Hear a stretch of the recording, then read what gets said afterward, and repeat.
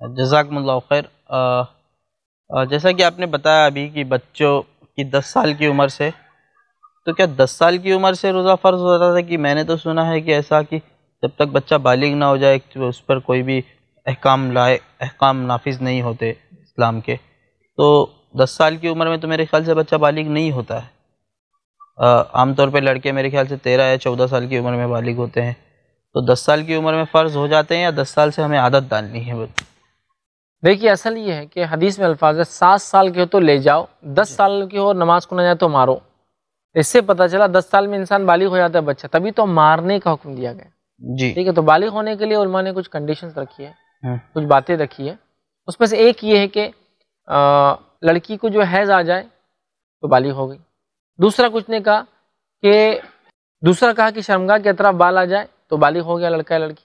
और तीसरा ये कि जो है मनी खारिज हो जाए मतलब एहतलाम शुरू हो जाए तो भी बालिग हो गया। और हाँ। उमन ये दस बारह साल की उम्र तक ये दस ग्यारह साल नौ दस साल की उम्र में हो जाता है।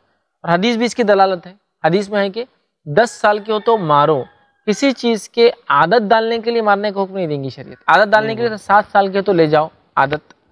फिर एक और हदीस इसकी दलालत करती है उसमें है कि दस साल के हो तो बिस्तर अलग कर दो। बिल्कुल। इसीलिए है कि बच्चा बड़ा हो रहा है उसमें बहुत सारे बॉडीली चेंजेस आ रहे हैं उसके फितरत उस, उसकी जो फितरत है बड़ा बालिग हो रहा है तो लिहाजा अमूमी एतबार से नमाज़ जब से फ़र्ज़ होती है तभी से रोज़ा और नमाज़ को दस साल में मारना है मतलब नहीं गए तो तो रोज़ा भी ज़ाहिर सी बात है तभी से होता है। बहरहाल इसमें लेकिन उलमा के और भी अखवाल है।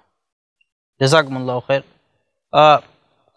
रमज़ान और रोज़ों का मकसद आखिर क्या है?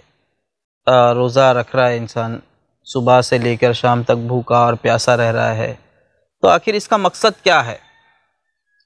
देखिए ये बड़ा अहम सवाल है। हमने शुरू में भी इसको देखा था यहाँ और तफसील देखते हैं। रमज़ान के रोज़ों का मकसद क्या था? हाँ। ये रमज़ान के खात्मे के भी फ़ायदा होगा इन इसका। जी। अल्लाह रब्ज़त कुरान फरमादा सूरतबकरा सूर नंबर दो आयत नंबर एक सौ तिरासी वन एटी थ्री में। अल्लाह रब्ज़त फरमाता या अयूहल्लज़ीन आमनु कुतिबा अलैकुमुस्सियाम कमा कुतिबा लल्लज़ीन मिन क़ब्लिकुम लअल्लकुम तत्तक़ून।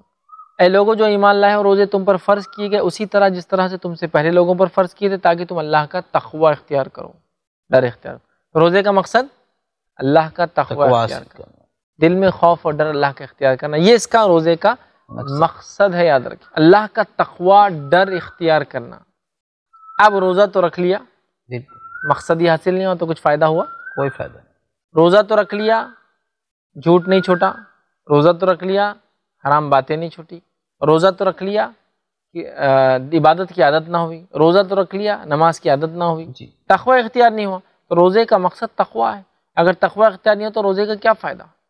ये तो ऐसी मिसाल है कि एक इंसान को आप तीस दिन कहीं भेजें तीस दिन वो ड्राइविंग स्कूल जाए गाड़ी सीखने के लिए। तीस दिन गाड़ी सीख के आने के बाद पहले दिन जब गाड़ी दी जाए ले जाके एक्सीडेंट कर दे तो आप कहेंगे या तो ड्राइविंग स्कूल गलत था या तो स्टूडेंट गलत था। वही तो आज हमारी हालत। है रमज़ान के तीस दिन तखवा अख्तियार करने का दावा करने के बाद भी इकतीसवें दिन हमारी ज़िंदगी तब्दील हो जाती। मतलब बिल्कुल वैसी हो जाती जैसे पहले थी। कितनी ताजुब की बात है ये। इसका हम्म। मतलब हमने तखवा इख्तियार ही नहीं किया। रमज़ान का मकसद ही हासिल नहीं किया।